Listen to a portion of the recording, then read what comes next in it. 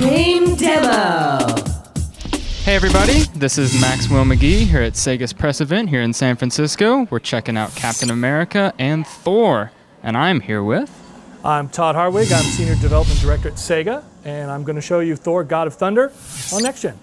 All right, Todd, thank you for joining us. Let's uh, check out the demo. Let's hit it. All right, well let's jump in here. We're checking out the the Frost Giant. Is that what it was? The Frost. The Frost Goliath. The This- Frost Goliath. Frost Very Goliath. nice. He's a boss battle early on in the game. Thor Next Gen, God of Thunder. Uh, this is actually set in Asgard. This is uh, basically during an invasion uh, by some nasty forces, uh, assault on Odin's palace ultimately. So what you're seeing here is the, the Frost Giants coming to bash down the doors. Uh, Thor comes in, of course, knocks him down with a nice Thunder Trench move. I think that's what that is in that cinematic. So what we're going to see here is this quick sequence. It's going to be a demonstration of what we call T2s, is basically what these are. There's three levels of enemies uh, that we have in the game. So we have T1s, those will be about the same size as Thor. Uh, T2 is about twice the size which we have here, and then T3, which is what we're going to see in the concluding section of this battle. Uh, what this also demonstrates uh, is a little bit of the grapple system, a little bit of the complexity of the combat. So basically what happens with these guys is, if you didn't see already, they actually broke down some armor so that we could get to the point that they were vulnerable now to the grapple system. So in the grapple system, actually, there's a tactical choice at the end of this sequence, basically, where the player is actually choosing whether they want to try to increase their valor points, their health points, their Odin force as a result of defeating. So as we see here again, here's another grapple. Sorry, I made a selection. We're going to see the runes fly up. I can't remember exactly what move this is, but we're going to see the runes come up. It's going to give me a clear understanding what he's got. So now we're going to actually see the, the Frost Goliath proper. So as I said, this is going to be an example of a T3. So what we're going to see here is a much larger scale enemy, and a lot of how this adventure was was constructed really was to demonstrate how powerful Thor was by opposing him to some very very large enemies. So what's really nice about this sequence is we're going to play, and I'm going to spoil a little bit, is he's actually uh, sucking up those ice pieces of the defeated enemies as he's moving along here.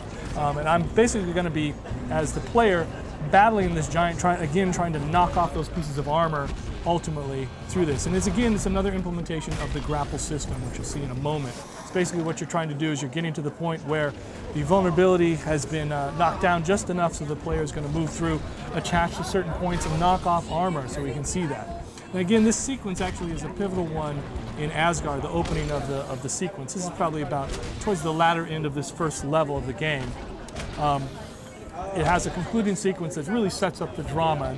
And as I'm kind of going through this, we're seeing basically the first example of the of the grapple system. He's moving around from point to point. There are three points or four points actually on this creature that you can move around. It's timing based to some degree, so there is a fail state. If you don't move fast enough, he'll actually pick you up, bash you on the ground. You got to start over again. Um, you can see also that he's able to use uh, the hammer to kind of throw it at there and knock off some arm as well. It's really to prompt the state in which he's actually vulnerable and I can grapple again as the player. So he's, again, that's the indicator that the grapple system is active. He can go up there, he's going to bash him again on the shoulder. And what you see also in those green points are really where he's vulnerable. That's what I'm trying to bash out um, so I can conclude this sequence. So you can see he's been using uh, several of the elemental powers. He's on lightning at this point as he's going to go through. Uh, fire that off. It's really lightning storm to stun him. Um, and again, if we didn't cover this off already, Thor has elemental powers that are intrinsically linked right now in the implementation to his to Mjolnir, his, his hammer. So there is a leveling up system that is based around those elemental powers. So as he increases his uh, his levels up, basically, uh, he's able to increase the variety of those particular uh, powers as they would impact uh, the enemies. So here we go. Here's a, another quick time event. Basically, it's concluding uh, part of the grapple system. So he's basically defeated this enemy. So he just finished the raid, so to speak. Uh, we just saw he actually collected all his Odin force for defeating him. You get a reward. This is a dramatic sequence at the end. It's going to set up actually part of the, the conflict of the tale to let it play out. Now, I, I wanted to touch upon the fact we do have talent from the film in here, but we should say that the story that we play is outside the context of the film. So we're really proud of what the developers made able to do. Again, everything looks great in this product coming out soon. All right, and that was a look at Thor, God of Thunder. Todd, can you remind us when it's coming out and what it's coming out for? It's coming out on 360, PS3, Wii, and DS. It's going to come out on May 3rd. All right, well, thank you for taking the time to speak with us. Stay tuned to the site for more information.